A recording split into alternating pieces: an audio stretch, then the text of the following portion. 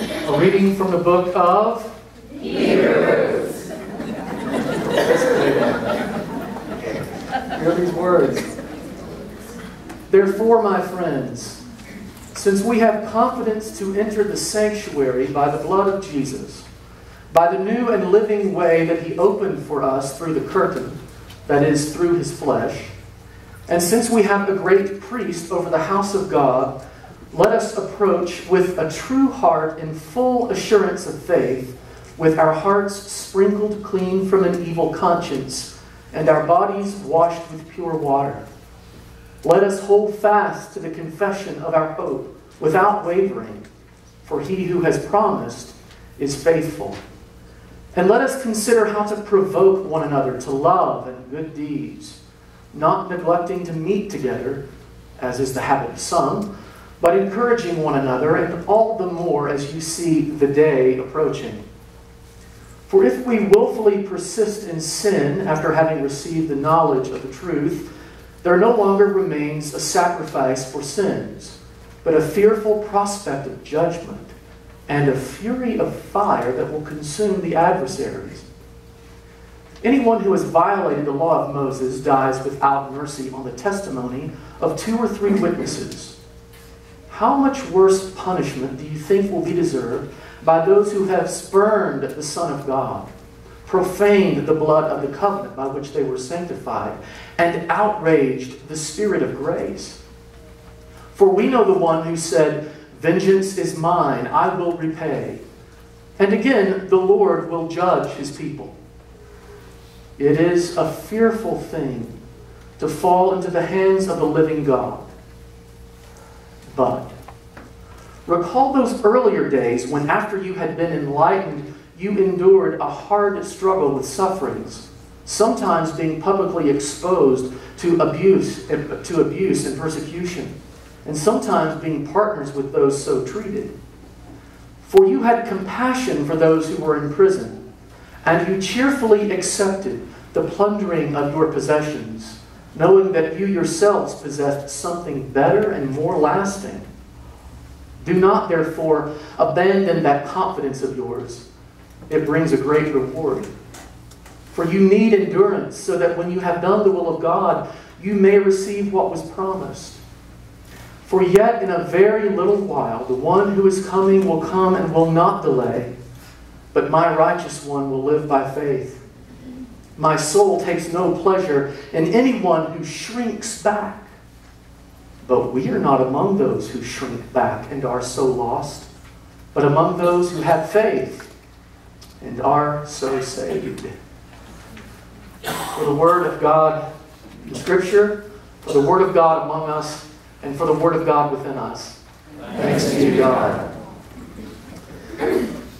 Well, this past week, America said bon voyage to someone who is considered by some to be America's pastor, Mr. Jon Stewart, the longtime host of Comedy Central's The Daily Show.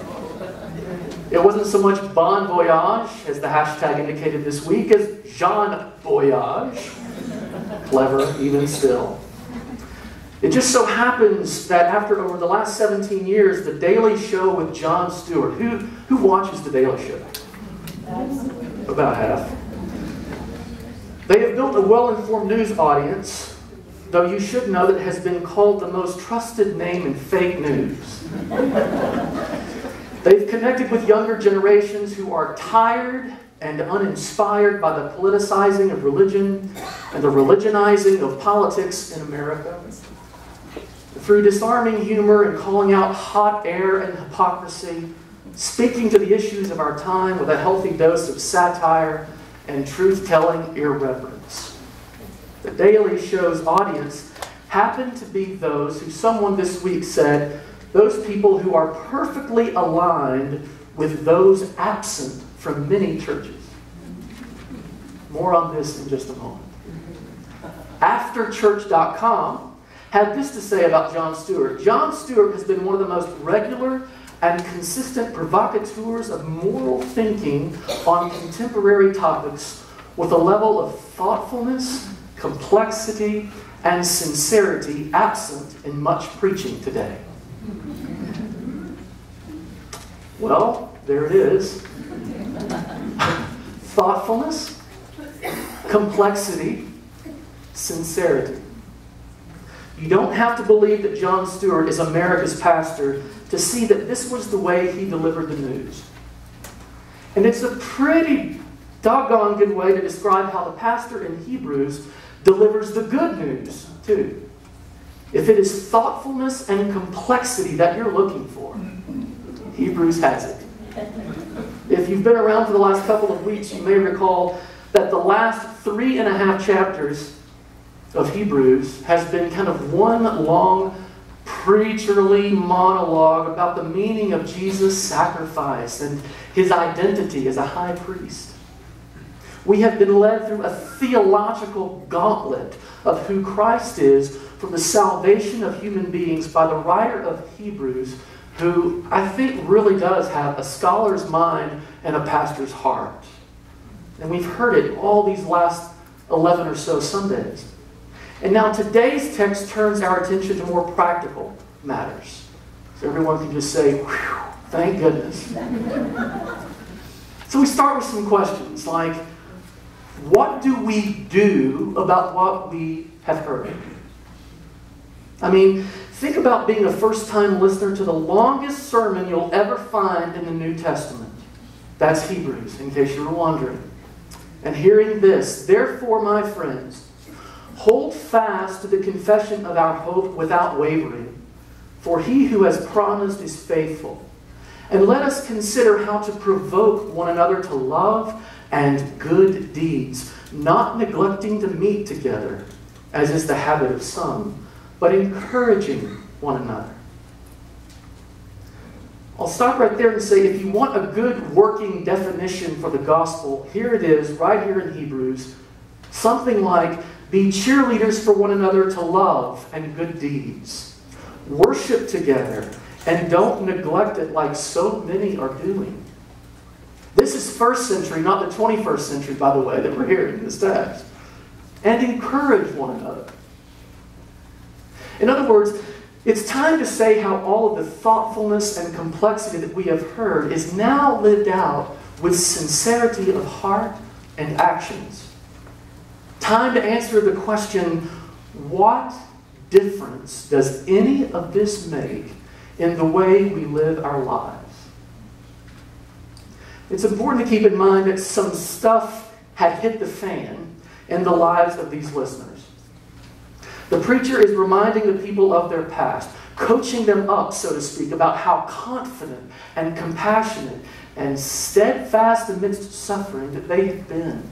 Hear the words again. Recall those earlier days when, after you had been enlightened, you endured a hard struggle with sufferings sometimes being publicly exposed to abuse and persecution, and sometimes being partners with those so treated. For you had compassion for those who were in prison, and you cheerfully accepted the plundering of your possessions, knowing that you yourselves possessed something better and more lasting. Now, this is a picture of perseverance for those who endured pain in very public ways. This was no hypothetical or theoretical matter uh, either, because apparently, after they had been enlightened, in other words, after they had joined the Jesus movement of the early church, they went through a hard struggle with sufferings. They suffered violence, both verbal and physical. They were put in prison and their empty homes while they were in prison were looted, were looted and burglarized. And now the preacher of Hebrews is reminding them of those early days in the faith when they were brave and bold and did not back down. A time when their hearts were not hardened by their hardships. A time when they risked losing their possessions because they possessed a reward that could never be taken away from them. They possessed something better and more lasting. But now, rather than having the kind of wholehearted faith that had inspired them to compassion for those who were in prison, and cheerfully accepting the plundering of possessions, and living with a confidence that would bring a great reward, They were now, according to Hebrews, giving up on the grace of God they had experienced. They had even stopped worshiping together. And not only did they stop going to church, even worse, they had stopped being the church.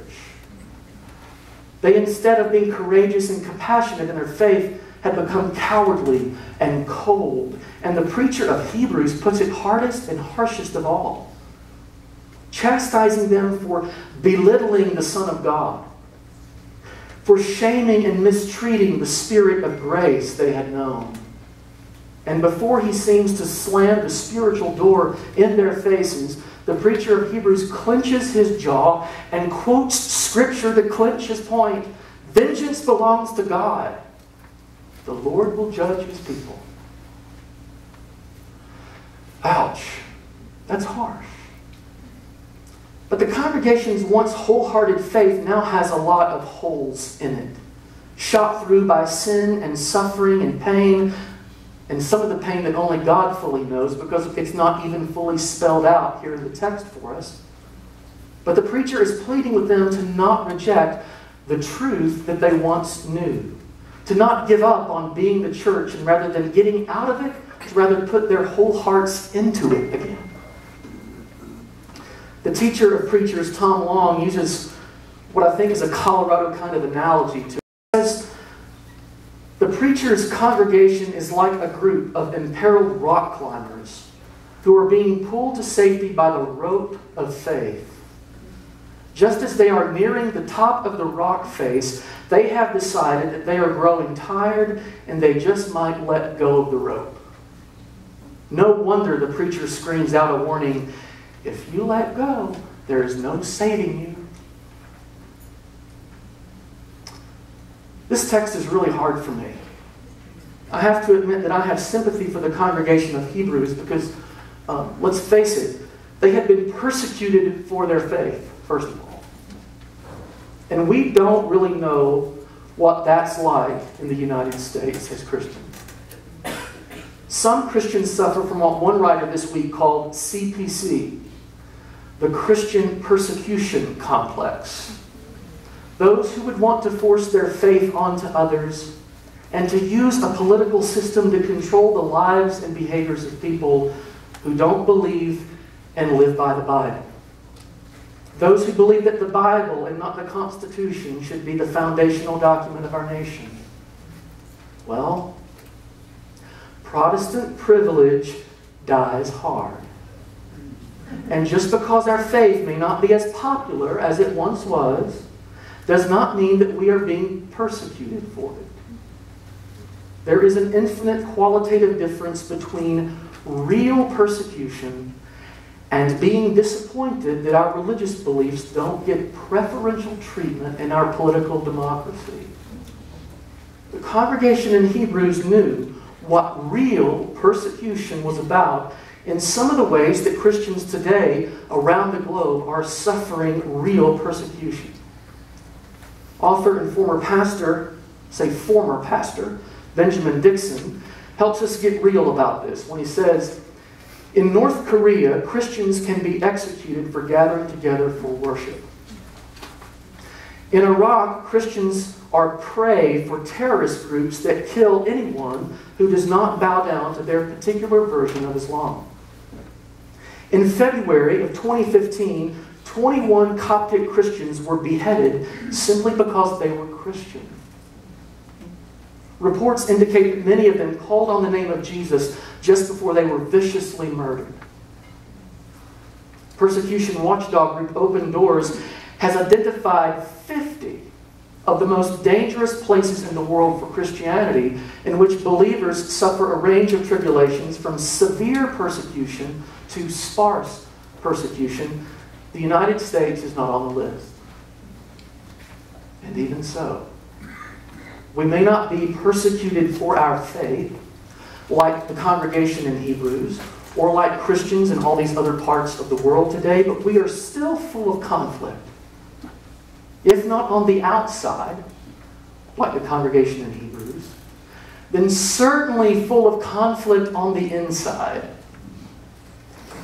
Inside of ourselves, inside the church itself, To the point of it being hard to know sometimes whether to stay in it or just to get out of it. I think for many people today, there is a why bother? So what? What difference does it make anyway? Kind of mentality about the church. I know some of you in this room struggle with it. We identify with those in the congregation in Hebrews who made it a habit to neglect to meet together. In other words, they ain't going to church. and we understand how people might get tired in worship. This guy's droning on and on about this esoteric book of Hebrews, where we get tired of worship and we lose focus. We can lose heart, we can lose interest. And if we happen to be burned out on going to church or, or being the church, like our spiritual ancestors in the book of Hebrews, then by shrinking back from church, we know that nobody's going to ask us to serve on a committee. Nobody's going to ask us to give money. Nobody's going to ask us to lead a small group if we lounge in the sanctuary of Starbucks on Sunday morning or sip our dark roast and watch Sunday morning news shows. And some Sunday mornings I want to do that too. This week I read an article by someone else who sympathizes with such things about church.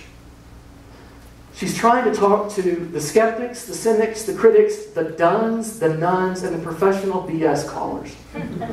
She writes this I want you to know I hear you. You're my people. I see every bit of the drama, the pettiness, the poor stewardship, the moral grandstanding, the lack of authenticity, and the love of tedious meeting having that defines westernized Christianity. I know it can be gross. I know. I know the music can be bad.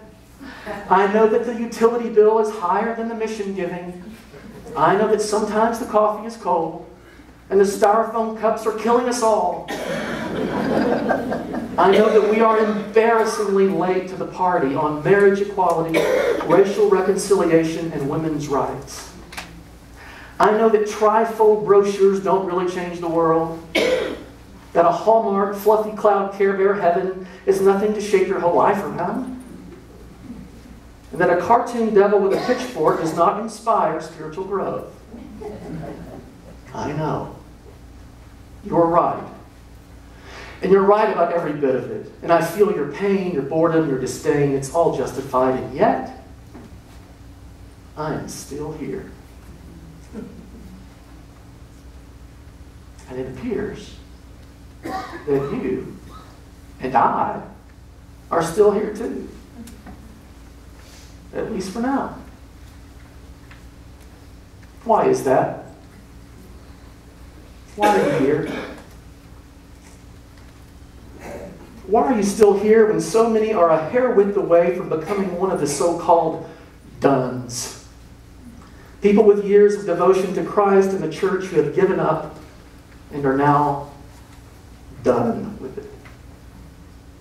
The thing is, many of us have attachments to church life. Me too. Because there's some things that make us feel safe and comfortable. And it might be about things like singing hymns, or the feel of a sanctuary, or the smell of a potluck meal. That's my favorite.